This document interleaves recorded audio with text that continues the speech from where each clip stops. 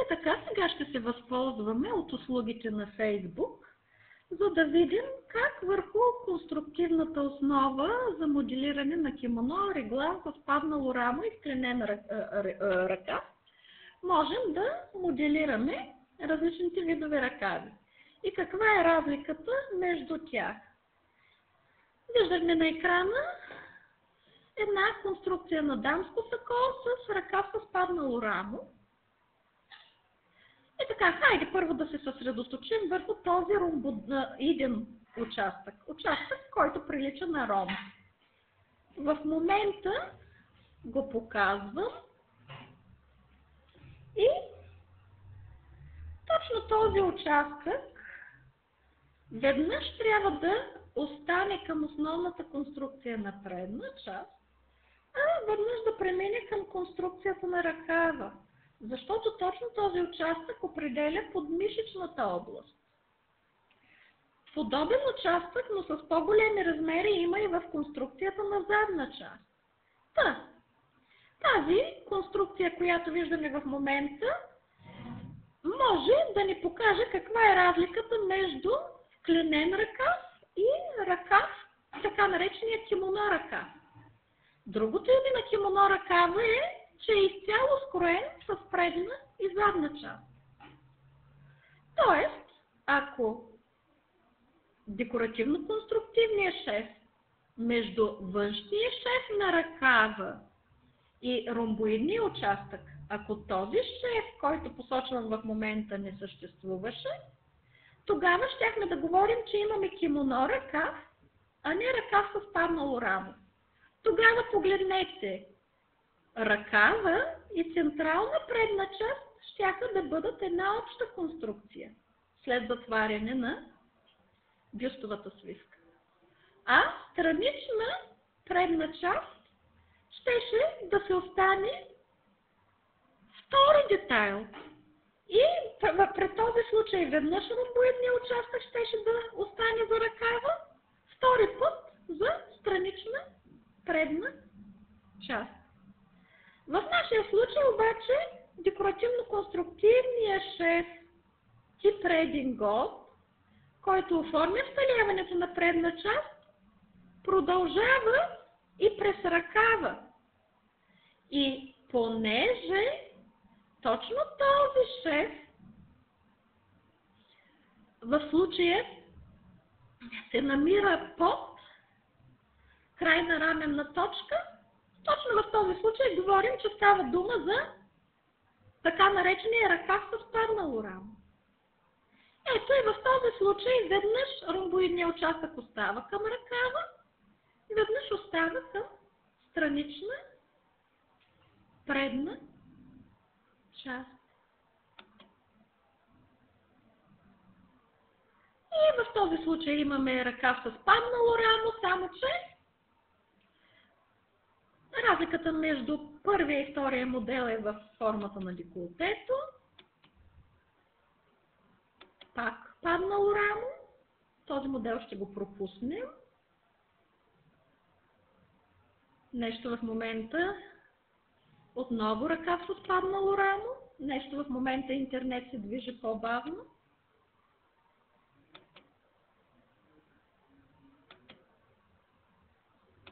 Пак любимия ми ръкав с паднало рамо. Докато най-накрая ще стигнем до друга конструкция. Явно малко съм прекалила и с снимките. Тук разликата основно е в деколтетата.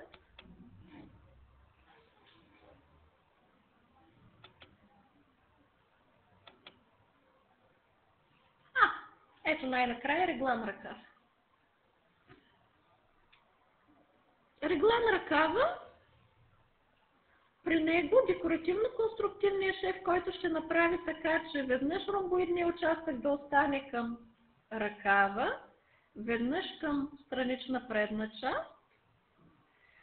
При реглан ръкава, декоративно-конструктивният шеф ще бъде насочен в посока към обратна извивка или към деколтет. В случая виждате един много интересен начин за оформяне на реглан ръкав с дъгообразна, идеално плавна, гладка форма. Този начин ще го разгледаме в едно филмче допълнително. Но преди да го разгледаме в филмче, ще ви обясня как става номера, грубо казано. Една линия, която е посочвам в момента, и втора линия, които долу-горе определят направлението на кривата на ръкава. Тези линии се разделят на 4 и съответно втора точка от вертикалната линия се съединява с втора точка от, от леко наклонената приблизително хоризонтална линия. Трета точка от линията във вертикално направление, съответно с трета точка в линията, която е почти в хоризонтално направление. И четвърта точка от едната линия, съответно с четвърта точка от другата линия. Използваме нърв скрива, като съответно кликваме в крайна точка, в предпоследна точка, в първа пресечна точка, във втора пресечна точка, в втората точка от вертикалната линия или предпоследна точка от кривата и най-накрая в крайна точка. Но това, за да стане по-ясно, ще направим едно допълнително филмче. Пак ще повторя реглан ръкава, декоративно-конструктивния шеф, който започва от ромбоида, завършва в посока на вратна извивка или деколтето. И по този начин ромбоидният участък веднъж пак преминава към ръкава, веднъж към странична предна част. Отново имаме ръка с паднало рамо. И отново това е същия ръка с паднало рамо. Само, че задна част на ръкава е оформена като двушевен ръкав. Тоест, самия ръкав с паднало рамо вече от едношевен е превърнат в двушевен. Но а, в този случай отново имаме много добра иллюстрация. Всъщност, четирите вида ръкави реглан с паднало рамо, кимоно и вклинен ръкав, видовете им се определят от направлението на декоративно-конструктивния шеф, който започва от върха на ромбоида или от ръкавния център. Този декоративно-конструктивен шеф задължително трябва да, бъде, да започне от върха на ромбоида или ръкавния център на предна или на задна част и да бъде насочен на някъде. Ако е насочен към конструктивната основа на задна или на предна част, говорим за кимоно ръкав. Ако е насочен към външния шеф на ръкава, говорим за ръкав с паднало рамо. Ако е насочен към вратна извивка, реглан ръкав, а ако е насочен към раменен контур, вклинен ръкав. Втори вид реглан ръкав. Вече имаме две прави линии с закръгление, които оформят реглан формата на ръкава. И задължително, както виждате, реглан формата на ръкава започва от върха на ромбоида. Ето са класически кимоно ръкав. Оп, извинявам се. Виждаме ръкава е изцяло скроен с предна част, изцяло скроен с задната част. Има декоративно-конструктивен шеф, който започва задължително от върха на ромбоида на предна част и върха на ромбоида на задна част. Изиграва се и функцията не само за оформяне на ръкава, за да може веднъж ромбоида да премине към ръкава, веднъж да премине към централна предна, или в случая веднъж ромбоида да премине към ръкава, веднъж да премине към централна задна част. Този декоративно-конструктивен шеф естествено участва и в сталяването. А при кимоно ръкавите може да имаме и декоративно-конструктивен шеф, който да преминава през ръкава. Важното е, погледнете момичета, над ромбоидите, ръкавът и основната конструкция да бъдат едно цяло. Ръкавът към предна част и основна конструкция към предна част. Ръкавът към задна част и основна конструкция към задна част. Е, дойде време за вклинение ръкав. Виждате, основната разлика между вклинение ръкав и реглан ръкава е, че реглан ръкава го насочваме към деколтето или ръкавна извивка, или вратна извивка, извинявам се, а вклинение ръкав някъде върху рамото. Той за това се нарича и вклинен, защото, защото шевът, декоративно-конструктивният шеф е насочен към рамото, завършва към рамото, т.е. имаме някакво вклиняване на ръкава навътре в основната конструкция. Пак ще повтори разлика между вклинен и реглан ръкав. Шевът, който определя реглан ръкава, е насочен към вратна извивка или деколтето, а при вклинения ръкав шевът е насочен към раменния контур. Оп! Съответно, момичета, можем да правим и комбинации. Комбинация между ръкав с паднало рамо и реглан ръкав. Комбинация между ръкав с паднало рамо и вклинен ръкав.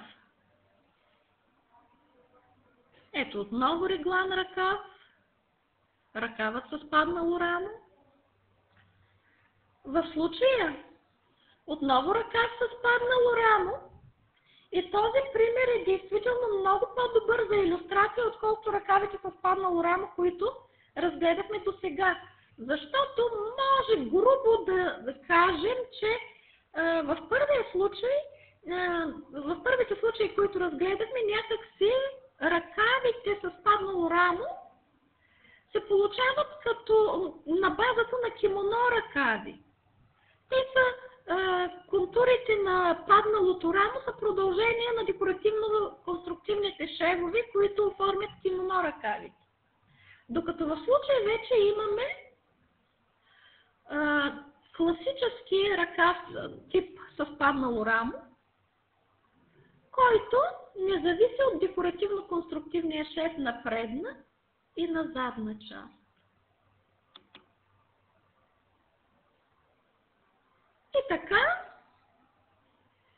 в случая можем да си позволим реглан ръкава да бъде пресечен от декоративно-конструктивен шеф. Но той така или иначе пак се остава един реглан ръкав може да си позволим в клинения ръкав да има сам, самия декоративно-конструктивен шеф оформящ вклиняването, да дублира по форма декоративно-конструктивния шеф, оформящ вталяването и бюстовата област на предна част. По същия начин това може да се го позволим и за реглан ръкава декоративно-конструктивния шеф оформяш реглана, да наподобява на форма, по форма декоративно-конструктивния шеф оформяш бюстовата област и сталяването на предна част и съответно декоративно-конструктивния шеф оформяш сталяването на задна част. Това също е много интересен и любим на мен модел, защото можем да направим така, че декоративно-конструктивният шеф, който оформя а, вклинената форма на вклинения ръкав, плавно да премине в декоративно-конструктивния шеф, който оформя бюстовата област и сталяването на предна част.